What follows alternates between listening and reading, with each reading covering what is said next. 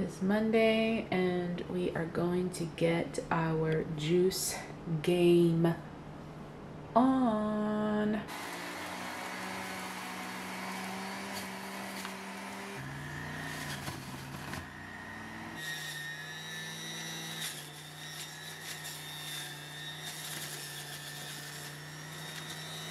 Boom, baby.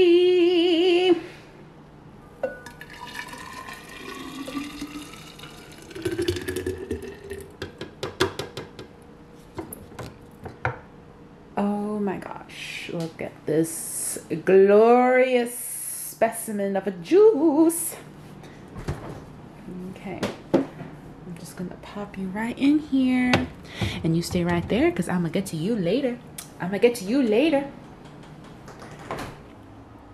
The one downside to making your own juice is indeed the cleanup. There's just a lot of parts to clean up, but it's it's not too bad once you have like a system and it can be therapeutic or at least I think it's therapeutic. But on other days it can be quite frustrating, so I think it just depends on the mood you're in.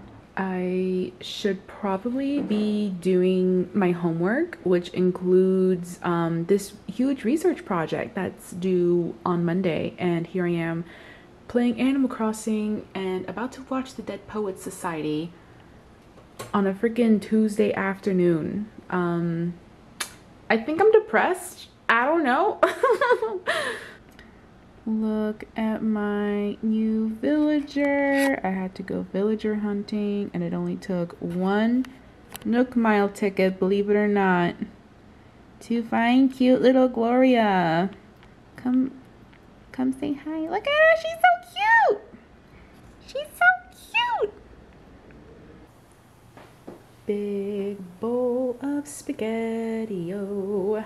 All right, so I have spaghetti, water, Animal Crossing ready to go and I'm going to find something to watch on the YouTube while I eat.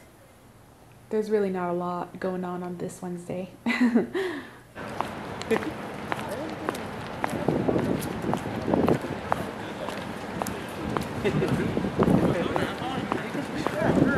Look how cute my classmate made like these cute little goodie bags for everyone in the class. Look at him, he's so cute. He's a gingerbread and chocolate chip cookie. Oh, he's so cool. He's so cool. He's so cool and he's so delicious. Oh, yes.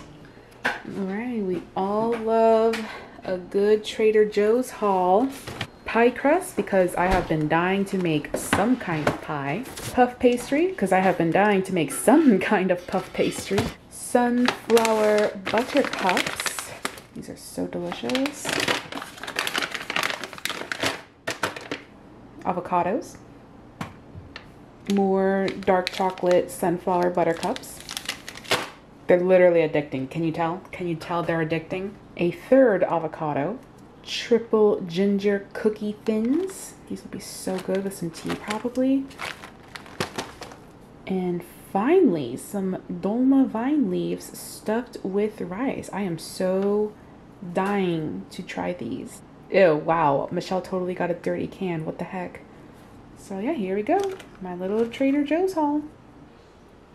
Wow, guys, I could really like just eat all of these right now and call it a meal. They're pretty darn good. Of course, I probably don't really know any better. I'm sure there's better ones out there, especially the homemade ones, but dang, these are pretty darn good.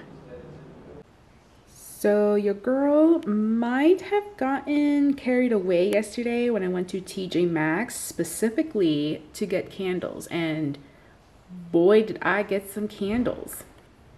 But I mean, it's candle season. It's so nice to light one of these up on a gloomy day such as today.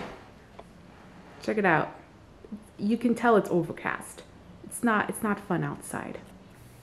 For tonight's dinner, we have a very soupy lasagna. She's just kind of not holding it together very well. Ain't that right? Ain't that right?